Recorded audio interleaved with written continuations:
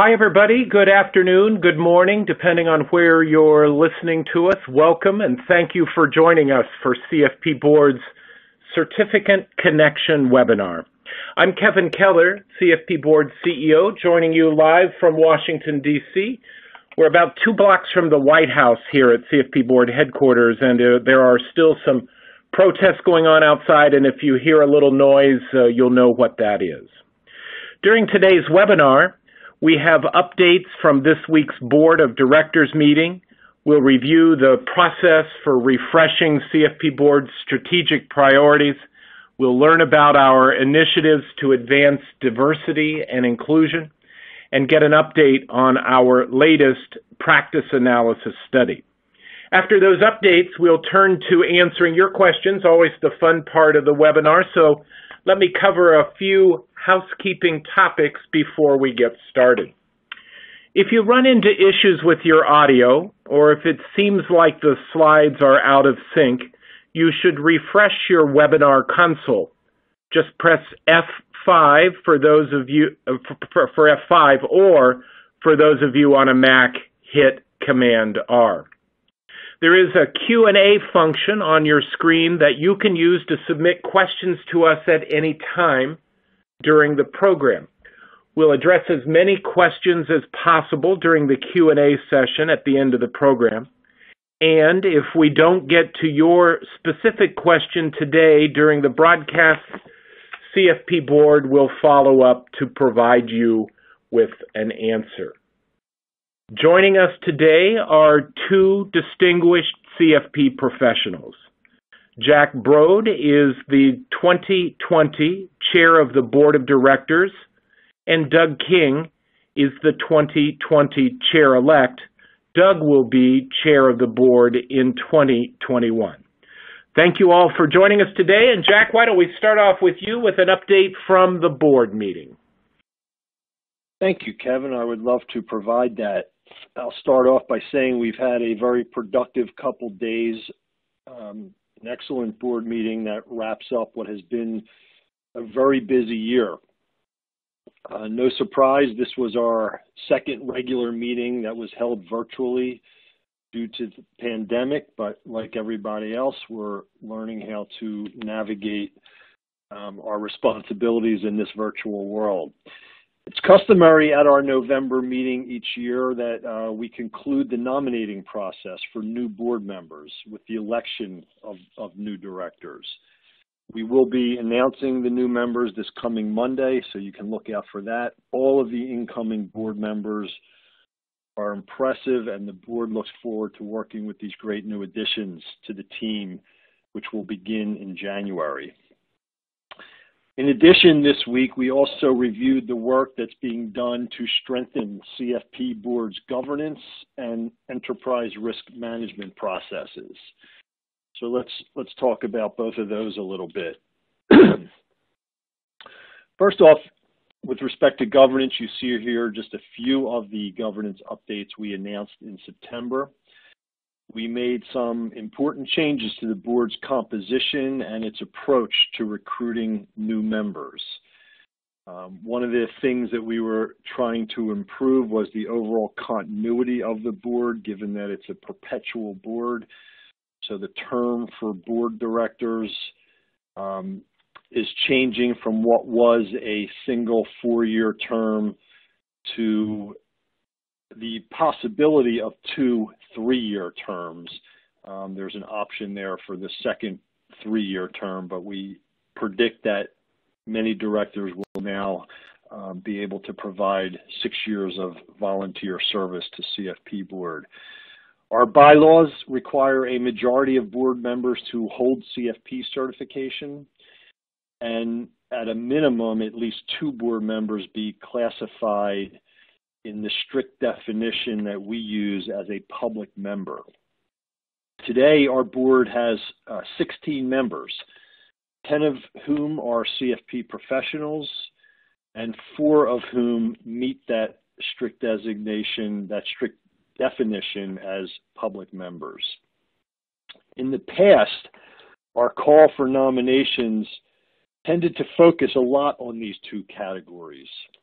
CFP classification, public member defin definition. That will still continue to apply. However, when we issue the next call for nominations, you'll see that our recruiting priorities will, will first primarily focus squarely on the professional skills, experience, and knowledge that we believe are needed on the board.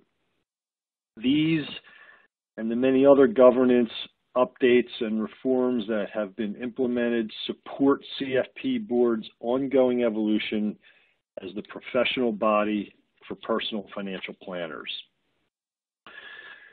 This year, CFP Board engaged a leading enterprise risk management consultant to help us review our current approach to enterprise risk management and recommend improvements going forward. They helped us benchmark our current program against those at peer organizations. They're conducting an enterprise risk assessment uh, to help us identify and assess the risks that face the CFP board. Many of you work for mid to larger size organizations, so you understand the complexities of today's world and, and the need to have a comprehensive enterprise risk program. After the risk identification process, the risk will be assessed and validated by CFP Board's executive staff to determine which risks should be prioritized over the next year. This is obviously an important activity that will help the organization establish stronger processes for managing and monitoring risks. At our meeting this week, additionally, the board also dedicated a full day to focus on the strategic refresh process, which is geared towards updating CFP board's strategic priorities. So why don't, Doug, I turn that over to you and you can share where we're at in that process. Thank you, Jack. I'd be happy to do that. The CFP Board's current strategic plan launched in November of 2017, and it's anticipated to take us through the end of 2021. You see here on this slide, we call our 4A plan, and this is focused on strategic priorities of awareness, access, accountability, and authority. And while we still have a year and several months left under this plan, the Board of Directors has been dedicating a significant amount of time as we prepare, prepare a refresh strategy to carry us beyond 2021. Here you see a high-level roadmap we've established for the strategy refresh process. The outcome of this process will be a new strategic plan for the CFP board, which we expect to adopt at the board's meeting in July of 2021. And because the CFP board has an important role in the advancement of the entire profession, we're providing we are approaching the process with a broad professional-wide perspective before we narrow down to the areas where the CFP board can make, make the most impact. Many of you know that last December brought the 50th anniversary of a pivotal meeting. That is considered the birth of financial planning profession. We took that occasion to convene a forum of nearly 100 leaders from across the financial advice ecosystem to discuss the future of advice, of financial advice. The forum outlined the beginnings of a shared picture of future success, including key factors that must be addressed in order to accelerate the development of a profession that is recognized and sought after. We released a summary of that meeting in a publication titled The Future of Financial Planning Profession, which you can find on the CFP Board's website. And since that December 2019 meeting, the CFP Board of Directors has continued the discussion. We've dedicated a substantial amount of time this year to discuss the outcomes of this forum and to refine some key elements discussed at the forum. On this slide, you'll see 17 elements that we landed on under the categories of consumer, public, professional practitioner, and professional workforce. For each element, we spent time outlining where we think currently, where we currently are, what opportunities and barriers exist, and what research and findings relate to the element, and most importantly, what we want to see in the future. We develop concise future desired state statements for each, and I'd like to share those with you today. Here's the desired future statement for key elements of the consumer public category. The first is consumer access to financial planners. Consumers from all income brackets should have access to competent, ethical, relevant, and affordable financial planning services. The next is public awareness. Consumers value financial planning and recognize and trust CFP professionals as competent and ethical. The third is empirical evidence. Empirical evidence demonstrates that consumers who access holistic financial planning have more successful financial life outcomes than those who did not access those services. The next is regulation. A regulatory body for financial planners works in the public interest by setting and enforcing the standards of competency and ethics, including a financial duty, uh, excuse me, a fiduciary duty required of all who use the title financial planner. The fifth is financial literacy. Financial planners improve the financial well-being of consumers, particularly those in underserved communities by actively supporting programs aimed at improving financial literacy and capability. The next is service commitment, in this case meaning pro bono. Pro bono services play a crucial role in the financial planning delivery framework, supporting people in crisis or need as fulfillment of the public service commitment. And the seventh is public interest advocacy. The public interest is effectively represented on policy matters related to financial planning and advice. On this slide, you'll see the desired future state statements for the key elements in the financial, uh, excuse me, the professional practitioner category. The first is competency standards. The public is confident that CFP professionals have the knowledge, skills, and abilities to provide financial planning in accordance with a fiduciary duty.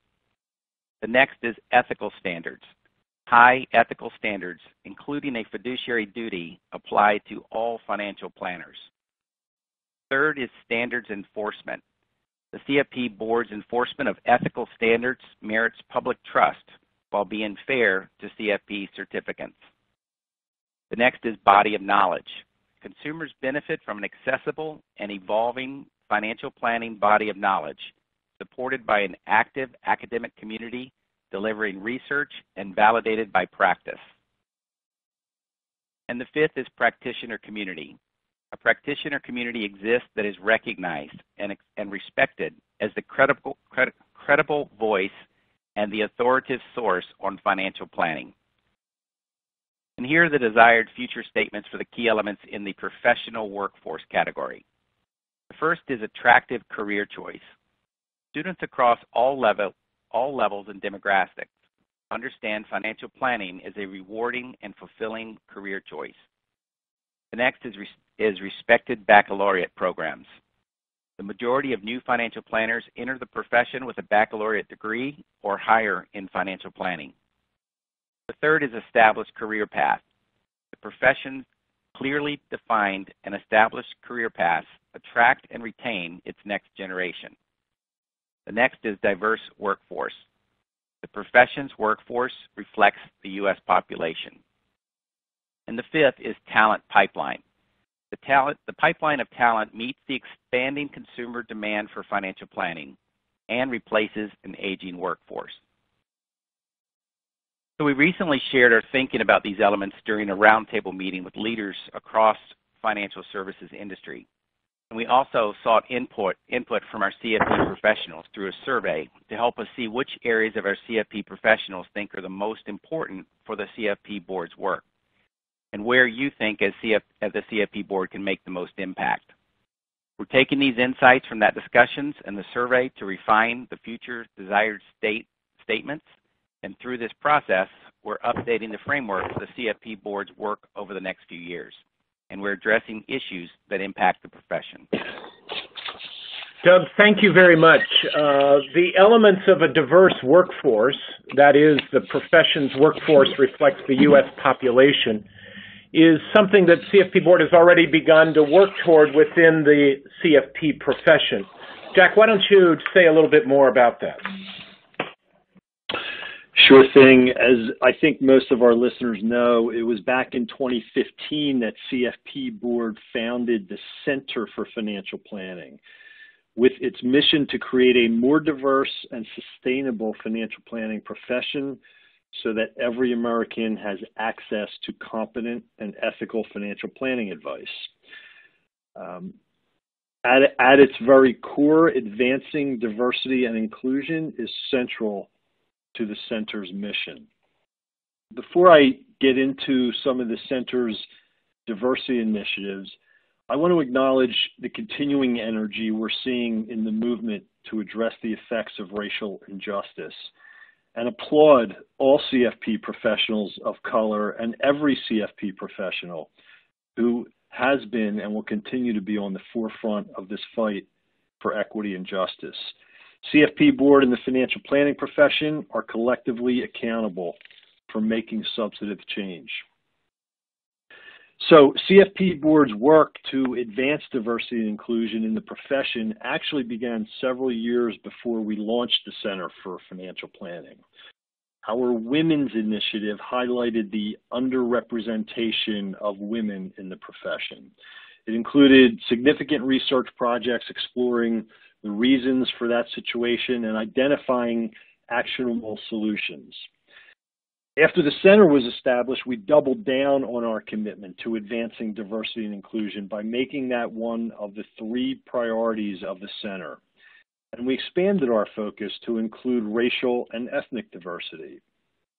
As we did with the Women's Initiative, we have taken a research-based approach. In fact, uh, back in 2017, the center commissioned a comprehensive research study to identify the barriers to racial and ethnic diversity in the profession. That research was shared in the Center's 2018 thought paper titled Racial Diversity in Financial Planning, Where We Are, Where We Must Go. For example, research found that African Americans and Latinos lack awareness of financial planning and the CFP certification process. However, CFP professionals who are African American and Latino said that they were as highly satisfied in their careers as other CFP professionals, and they were actually more likely to recommend the profession. Perhaps most importantly, the paper provides concrete actions that can be taken to advance diversity and inclusion.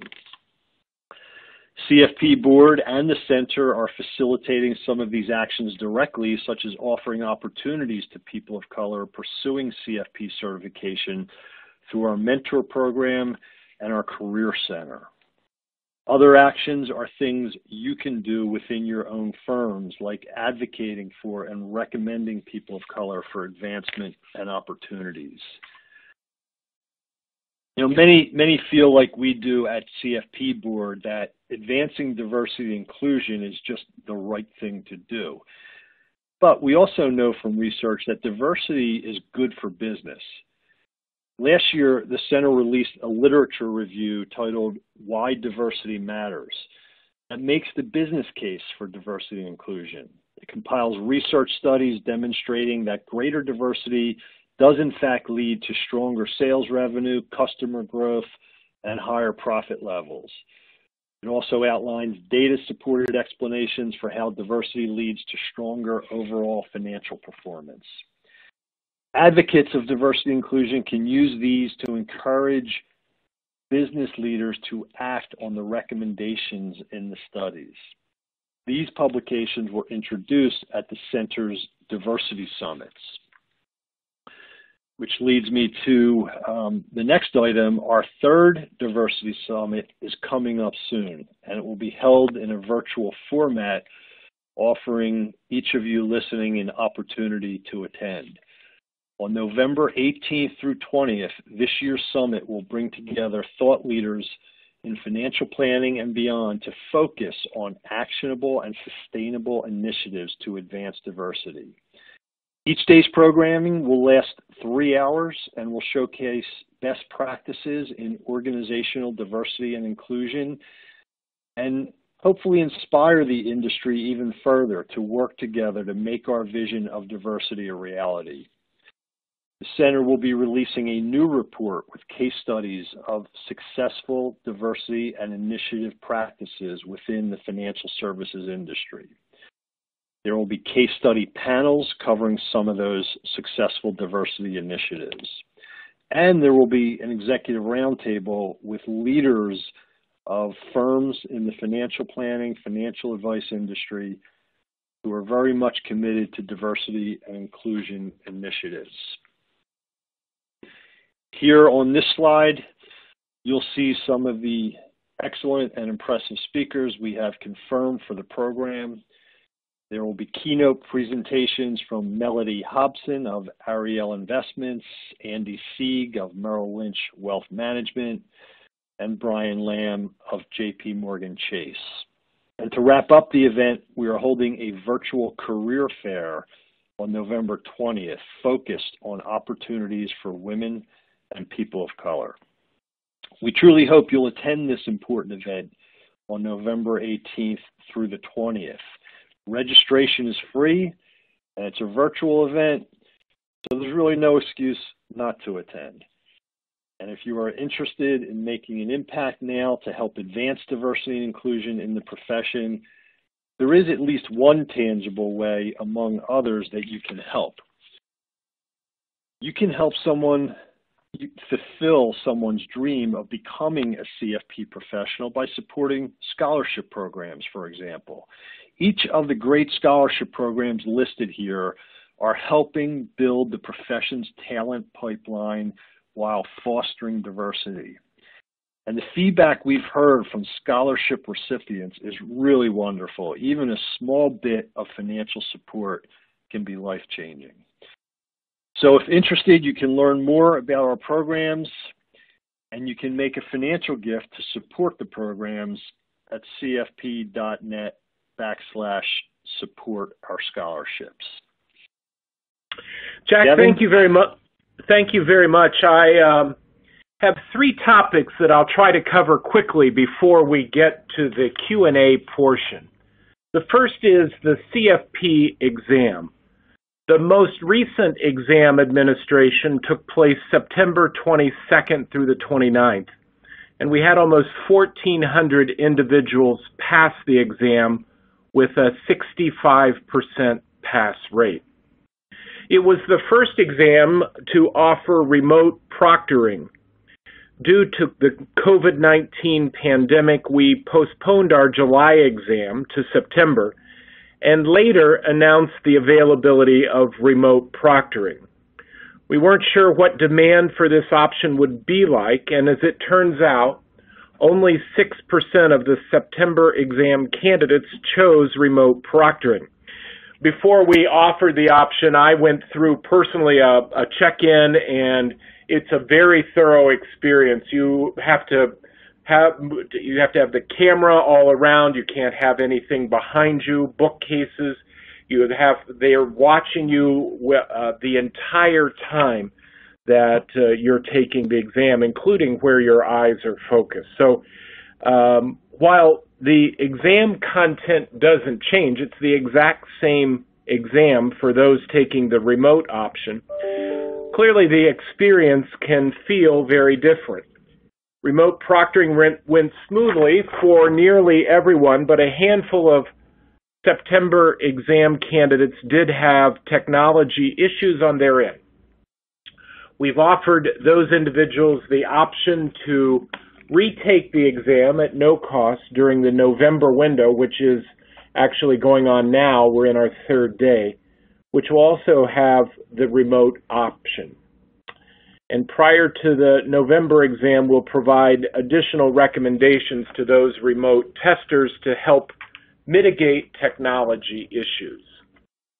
The CFP exam is an important part of CFP Board's competency standards. CFP board is in what I like to call the financial planning competency assurance business. We assure the public that the individuals who are certified undergo a rigorous process before they're allowed to use the CFP marks. This process involves satisfying requirements for education, experience, examination, and ethics. This is consistent with our mission of certifying financial planners for the public's benefit. So CFP Board upholds not just the ethical standards of CFP certification, but competency standards as well.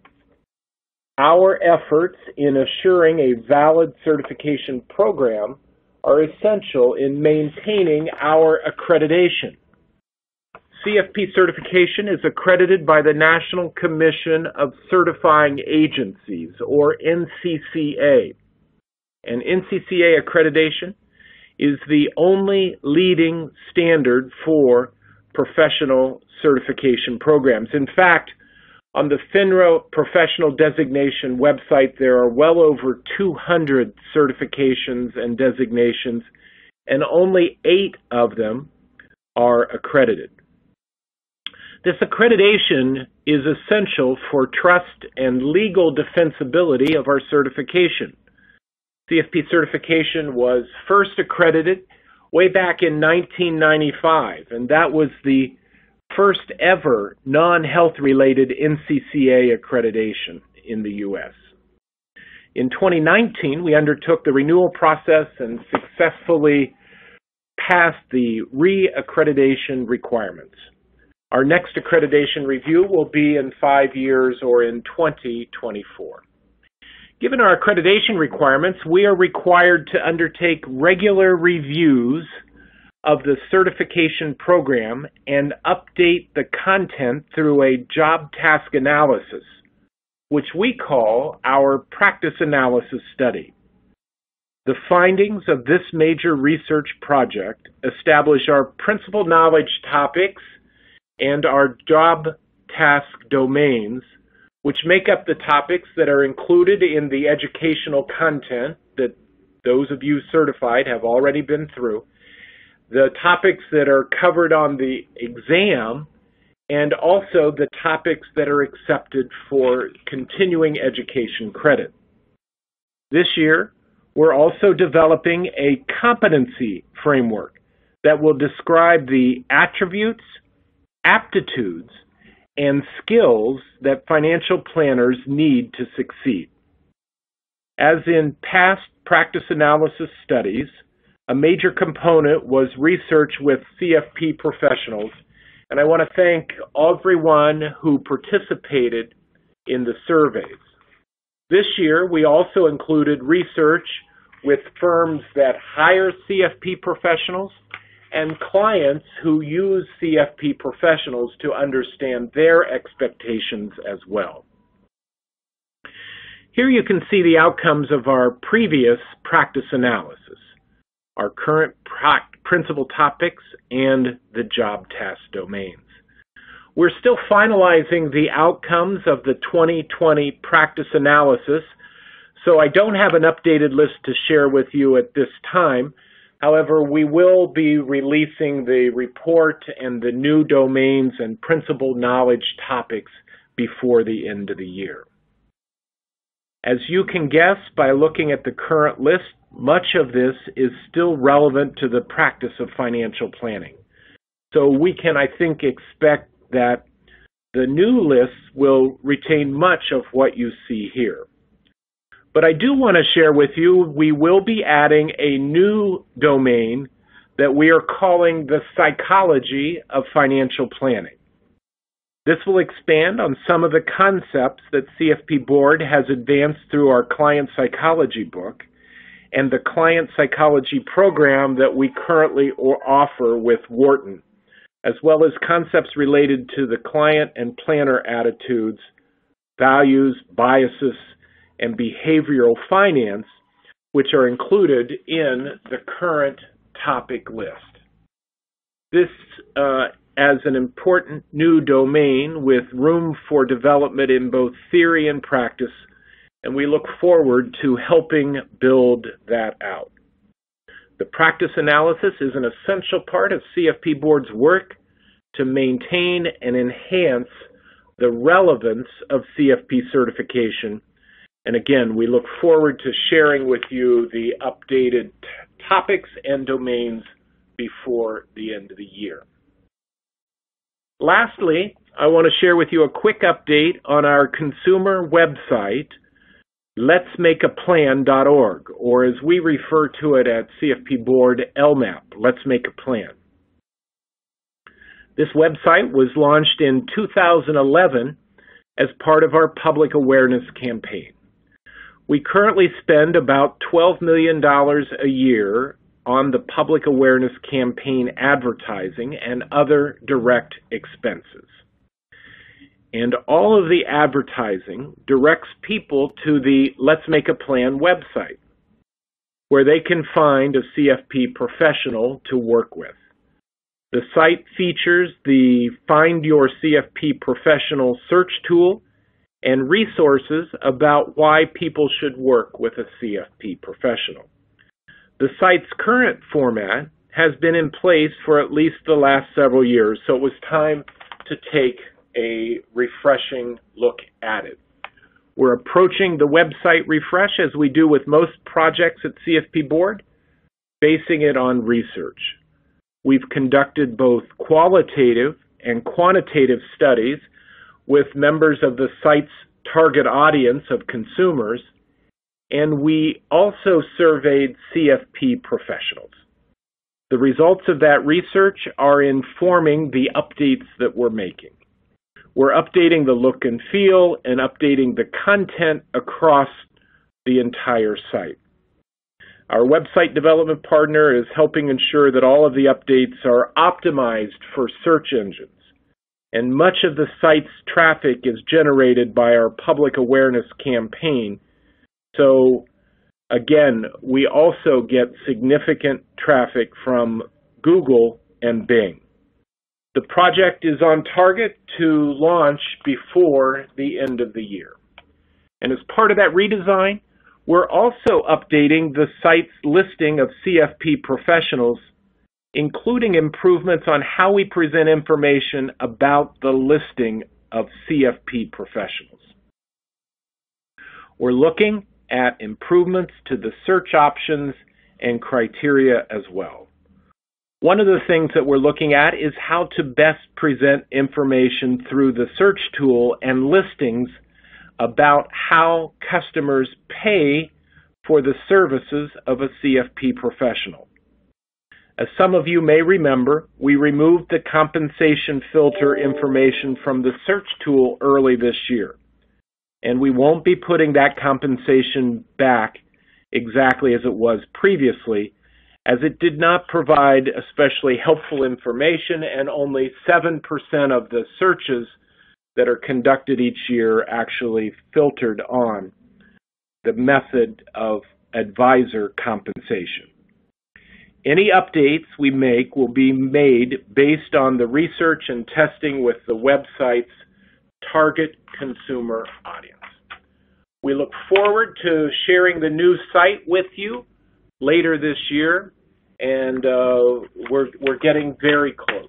So uh, now let's get to the fun part, uh, the Q&A. A number of you have noticed there's a Q&A function, and I'm seeing questions come in even as we speak. We'll kick right off into those questions uh, at this time. So first question, Jack, for you, Christina asks, would it be possible for a CFP certificant to be a robot? and how does the board feel about the current and future of robo-advice? And I want one more question uh, that I'd like to uh, add. There was one more here. Uh, please opine, Dan writes, on FinTech in general as a complement and as a competitor for CFP professionals. So Jack, I'll turn that over to you.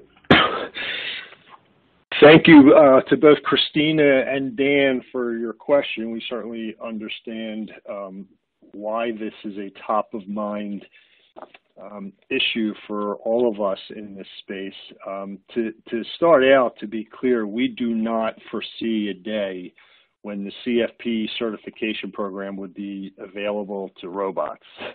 But uh, the tools that robo advice platforms provide can be a great help to CFP professionals. And, you know, it's important to point out this integration of technology is also um, broadening access to consumers who are seeking financial planning with new models, perhaps different levels of affordability. So that's a real positive. We are seeing more of the legacy or traditional firms and business models embrace these tools and technologies and the efficiencies they can provide for their clients. And interestingly, at the same time, some of the firms leading robo-advice platforms are tending to introduce more options for accessing human advice. So clearly, you're seeing this hybrid model uh, develop in a much bigger way in the financial planning area. Um, human advice is not going away anytime soon. Human financial planners add a ton of value to their clients and really can't be replicated through robo advice or other technology. One of the examples we like to cite is um, you might be interested to know one of our fastest growing segments among CFP professionals is the uh, so-called call center advisor. From time to time, people question whether they do real financial planning, but in fact, they are providing quality advice, human delivered, but digitally enabled. As we talk about better defining career paths and on-ramps to the profession, these call center operations actually play an important role by making real financial advice delivery positions accessible for professionals who might be new to the financial advice profession. I'll stop there. Jack, thank you for that. Uh, Doug, I think this next question might be for you. Um, Greg asks, why do banks not allow us to use the CFP designation in email signatures and on business cards? Sure, I'll be happy to take that one, uh, Kevin. Uh, Greg, thanks for that question. Um, uh, let's see. I think I would say that most banks and a lot of the non-bank financial services firms uh, they become more vigilant, I would say, in the way that they allow their employee titles to, to suggest what types of services uh, their employees offer. And I think um, just even a few years ago, it seems like everyone was holding themselves out as a financial planner. And I think we're finding that banks and firms are being more strict and probably more accurate when it comes to which employees are allowed to use that term. And so while I don't think we can speak to why individual banks might not allow their CFP professionals, uh, employees to put those marks on their business cards and their emails, it does seem likely uh, that that their decision is going to continue to follow that trend.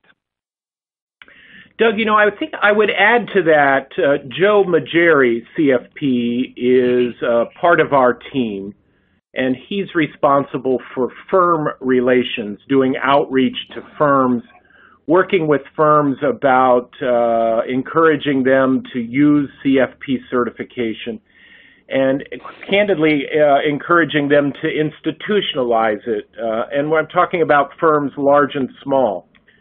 So one of the things that we're hearing anecdotally, but interestingly, is that firms are, some firms uh, are moving from where in the past they've had a designation policy to a point where now firms are more uh, likely to have a designation strategy.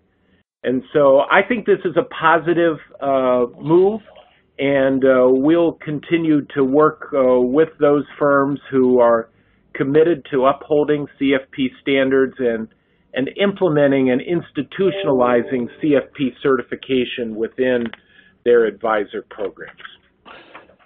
Jack, uh, next question for you.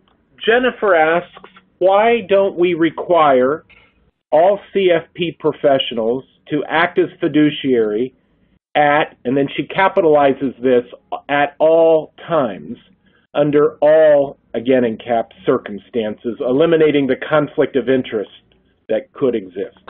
Jack? Thanks for the question. That's actually a gap that CFP board has been able to close over the recent years by updating our standards and moving from acting as a fiduciary when providing financial planning to, you know, under the new code and standards, all CFP professionals are required to act as fiduciaries at all times when providing financial advice to a client, whether that advice involves product sales or not. You know, it's it's important to note in this in this discussion that product sales aren't the only element of financial advice that may involve conflicts of interest. Fiduciary experts would say all compensation models have the potential for some conflicts. There's clearly some examples in the very popular AUM model. And all CFP professionals are required to avoid or to mitigate and manage conflicts of interest. So while not all conflicts of interest are necessarily avoidable, a CFP professional must in fact act as a fiduciary at all times when providing financial advice to a client. And the obligation to act in the client's best interest remains even when conflicts are present. Jack, you know, I would I, I would add on that point. Uh, in the past, uh, from like 2009 forward, our fiduciary duty only allow uh, only applied uh, when you were providing financial planning services or what we said were material elements of the financial planning process. And so there were there was a gap there, and I'm I'm really pleased that the board uh, close that gap. We define financial advice very broadly. Um, Paul has a question that's about volunteering at CFP Board. I think I'll take that. Uh, Paul asks, when will you be accepting volunteers to work on the job analysis or, uh, or other projects? Well, Paul, the the uh, job analysis is done, but I will tell you that volunteers play such an important role at CFP board. There is no way that we could do the job without literally over a thousand individuals who volunteered their time away from their practice and away from their family in order to support CFP certification and the work of CFP board. So what I would tell you is there, we're always accepting volunteers and the uh, website address is www cfp.net slash volunteer, I believe. I'm doing that from memory, Paul, but I think I've got that right. Um, Jack, a question for you. Michael writes, when will CFP board make uh, financial planning a real profession? Uh, that Michael writes. To do so, you know, why are we not like medicine or the Bar Association? And then in a related question. Um, Michael asks, and must be another Michael. Uh, I guess it's a similar question. He's he's sent it in twice. He sent it in ahead of time and sent it in now. So uh, I will um, uh, turn that one to you, Jack. When will financial planning be a real profession? Michael, thanks for the question. It's probably um, among my most favorite topics in the work that we've been doing at the at the board level with CFP board, we've been spending quite a bit of time on this. In fact, we're very aligned with you, Michael. This is what CFP board has and will continue to pursue. If you think back earlier to this presentation, Doug King covered what we believe are the 17 elements of a profession. And we did, in fact, um, look closely at professions like accounting and law and medicine and the like, um, because we're we're really determined to you know under not only understand those elements of what constitutes a profession, but really have clarity on where we stand relative to where we're trying to get, and of course, most important, how can we best get there? So CFP board has um, a very important role to play in that ongoing work to establish financial planning as a recognized profession. But to be clear, it's not something that we can do alone. As, as we shared today, um, and as I just mentioned, we have begun the process of refreshing um, the strategic priorities for CFP board. And we've taken that occasion to convene leaders from across the profession to discuss and attempt to build consensus around what needs to be done to achieve an established financial planning profession. As, as you mentioned, Michael, the legal and medical professions are very important reference points.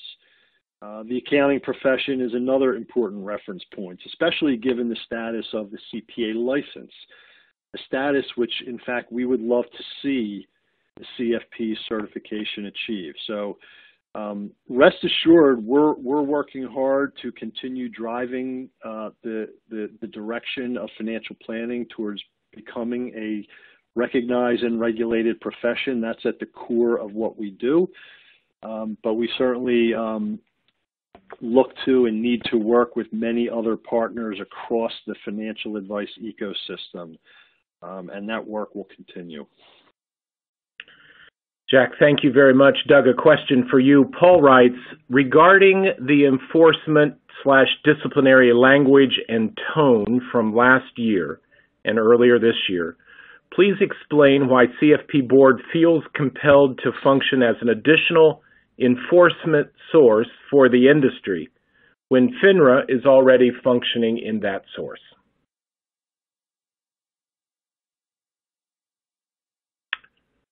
Doug, you may be on mute. The old. Okay, yeah, I was. Thanks. yes. I was just going on. so sure, I'll take that one, Kevin. Uh, first of all, Paul, I, I, I think we all want to thank you for that question because this really does give us an opportunity to stress that we do not feel it is our responsibility to become an enforcement source for the industry. And to that point, we have no authority over anyone in the industry other than those who are CFP professionals. And so um, we do, however, feel that anyone who uses the CFP marks should be held accountable to our own standards. And given that our mission of the CFP board is to benefit the public by granting the CFP certification and upholding it as a recognized standard of excellence for competent and ethical personal financial planning, I just read that off uh, the website, um, we feel that the only way to complete this mission is to uphold and enforce our own standards. And, I, and I'm sure you and all CFP professionals expect that of us, and we appreciate uh, help your, your help in making sure the CFP marks continue to be the gold standard for providing ethical, competent financial planning. Doug, thank you very much. Uh, a question came in from Joseph. He asks, why is CFP board not actively supporting the new DOL rule regarding prioritizing fiduciary responsibilities over ESG linked investments. And I'll take that one, uh, Joseph. Um, you know, this summer the DOL proposed a rule limiting environmental, social, and governance investing in ERISA governed retirement plans. The foundation of the proposed rule was that ESG considerations are not in keeping with a fiduciary obligation. The rule was met with uh, overwhelming opposition from retirement plan sponsors, other financial firms, investor organizations, and others. In fact, one study said that 95% of the comment letters submitted to the DOL opposed the proposed rulemaking. Now, the final rule was released last Friday. It walked back in some ways the proposal. You know, although CFP board and our partners in the Financial Planning Coalition typically get involved in fiduciary related proposed rules, we do so on issues involving a fiduciary obligation generally for investment advice and not for specific issues. We didn't get involved in the rulemaking because of its specific focus on ESG. Uh, and similarly, we didn't get involved when the DOL rulemaking this year said it was permissible for retirement plans to invest in private equity. So that's the story there. Doug, coming to you for the next question. Joelle asks, now that we have uh, families more engaged in virtual environments, how has CFP Board leveraged this to provide consumer education? More ads on social media platforms? How can CFP certificants help?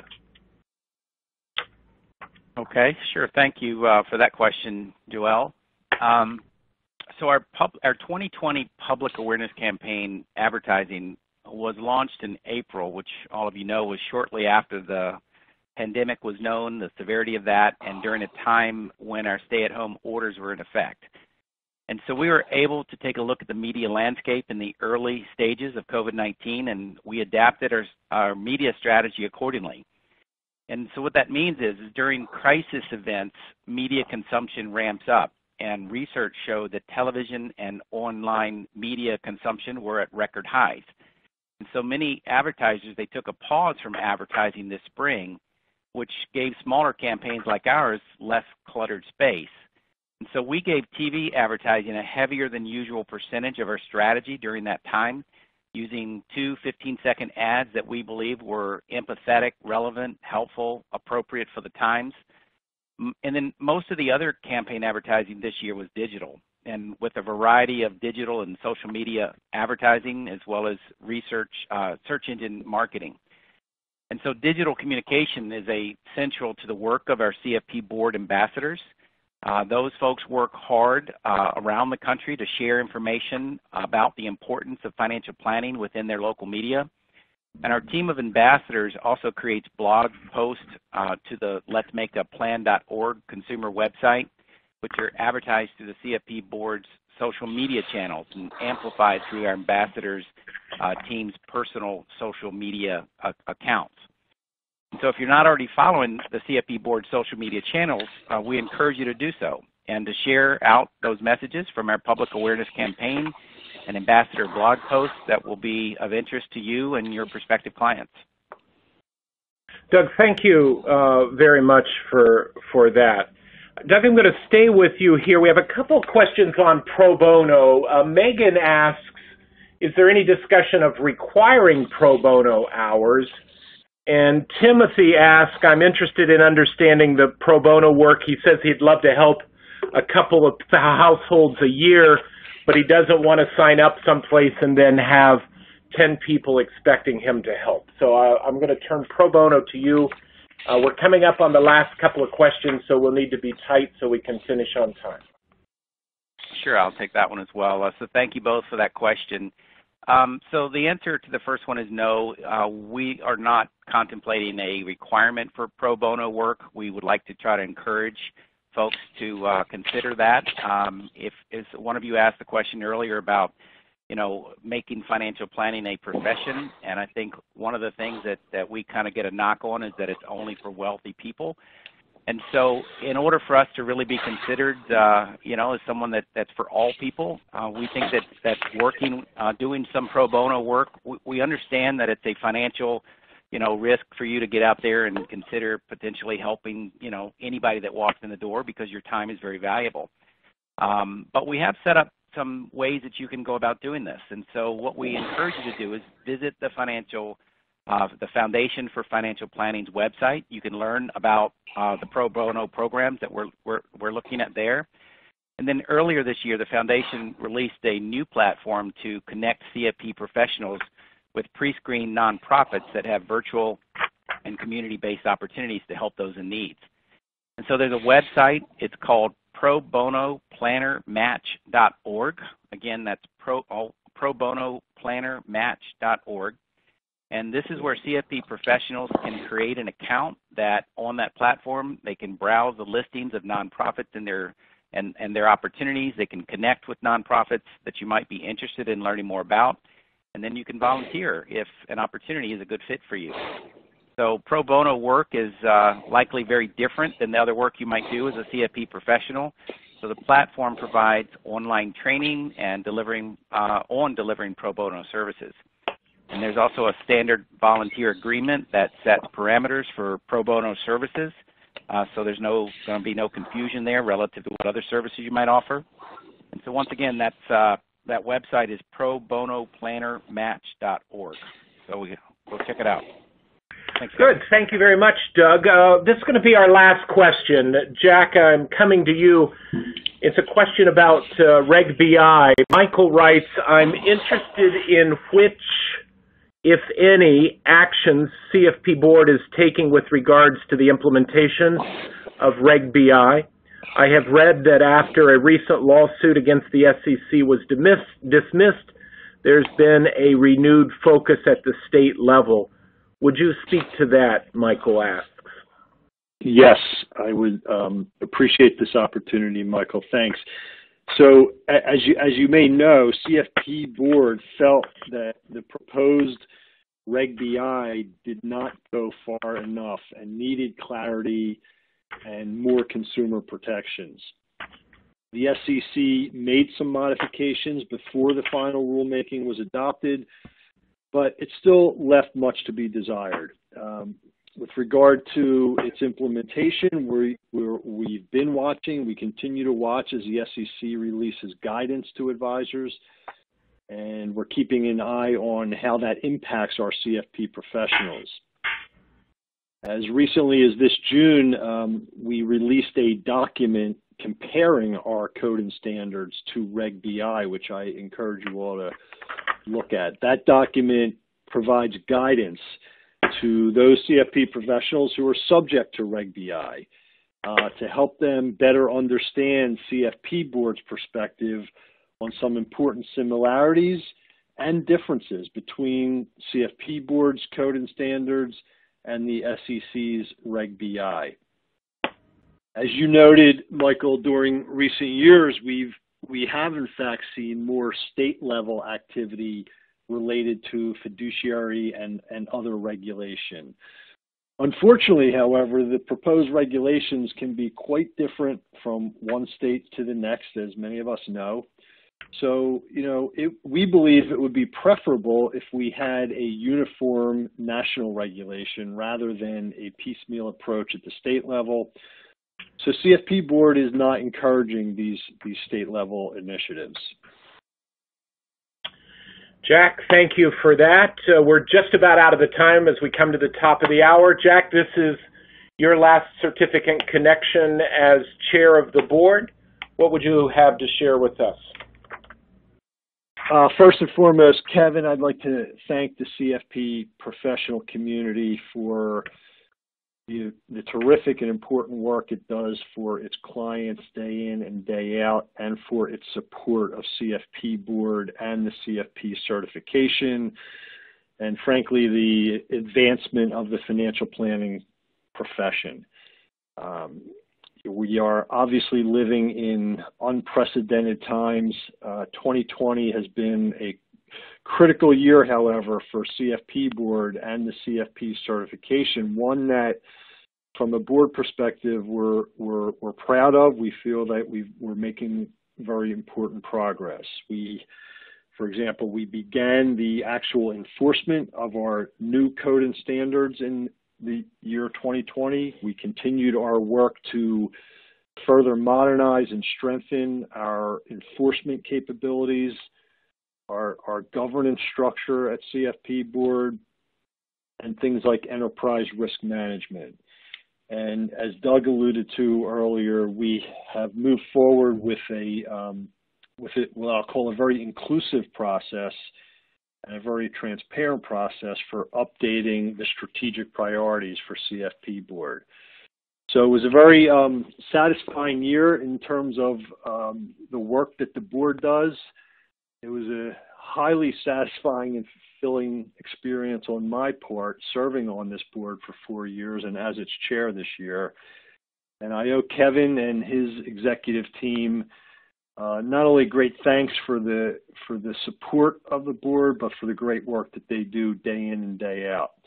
I, I truly believe CFP certificants like myself are in good hands based on what I've observed and witnessed firsthand at the CFP board and with the good people who are on the staff or are part of the significant volunteer community that Kevin spoke to. So thank you again.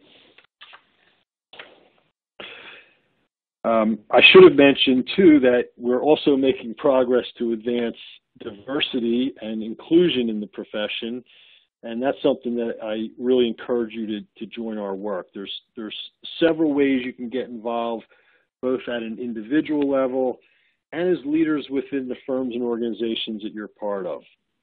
I talked about the 2020 Diversity Summit going virtual. Um, please look at that. You'll be able to join us from anywhere in the world. And I assure you the event will spark good connections, conversations, and most importantly, implementable strategies and actions. So please plan to join us on November 18th through the 20th for this important meeting, which again will focus on actionable initiatives to advance diversity in our profession. Doug? Thank you for that, Jack. And if yes, thank you, Jack. And if I uh, may, I also want to thank the CFP professional community and everyone who supports it. Um, all of us at the CFP board appreciate everyone who's taken the time to share feedback as part of the strategy refresh process. We look forward to finalizing a new set of strategic priorities for the CFP board next year. And we want to recognize the tremendous work you're all doing to address your clients' needs during this very stressful time. And as as you know, the CFP board achieves its mission to benefit the public, and they do that through the work of CFP professionals. And the clients of the CFP professionals are very fortunate to have all of you on their side. And we recognize that you are also dealing with your own concerns and stress.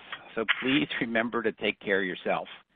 And finally, yeah. I want to thank you, Jack, for your leadership. Uh, Jack on the board over the last four years as our chair, and as our chair in 2020. Uh, you covered a lot of ground this year, and you're going to have some uh, pretty big shoes to follow uh, to fill there for for next year. So thank you. Yeah, gentlemen, thank you both. That comment about taking care of yourself indeed is so important.